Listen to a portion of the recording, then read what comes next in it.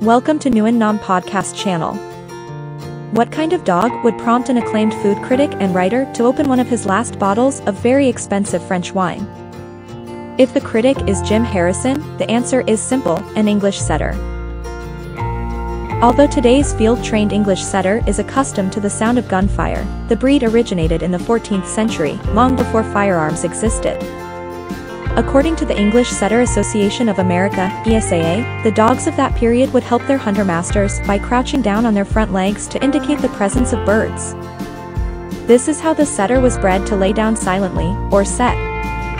The dog's posture would prompt the hunter to spread their net over a wide area, including over the dog, make a loud noise to flush the birds, then reap the harvest of fowl caught in the net.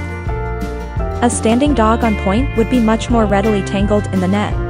Therefore, this low-lying method was ideal for net hunting. Early authorities say the breed developed before the pointer.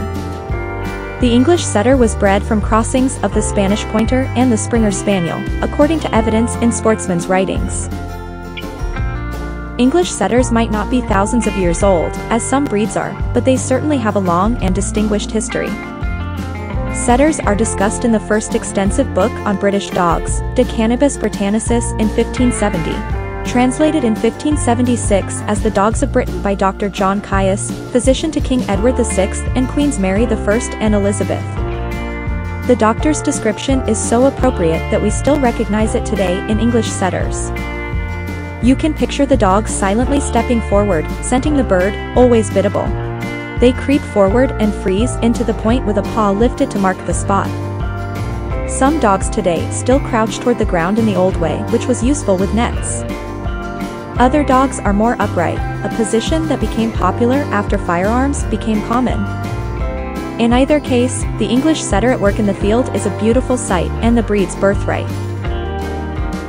The dogs of Laverack and Llewellin. The modern English setter is the result of the efforts of two 19th-century residents of the United Kingdom, Edward Laverack and Richard Purcell Llewellin. In 1825, Laverack obtained Ponto and Old Mull, products of a 35-year-old English setter line. Laverack's breeding initiatives produced a gentle dog who was a fine companion and show animal but who did not always perform well in field trials. To correct this perceived deficiency, Llewellin crossed Laverack's English setter with other breeds. Today, the Llewellin setter is considered to be the field-bred English setter, while Laverack's dog is the foundation for the breed's show dogs of today. These dogs are generally larger and carry more coat than their canine colleagues in the field.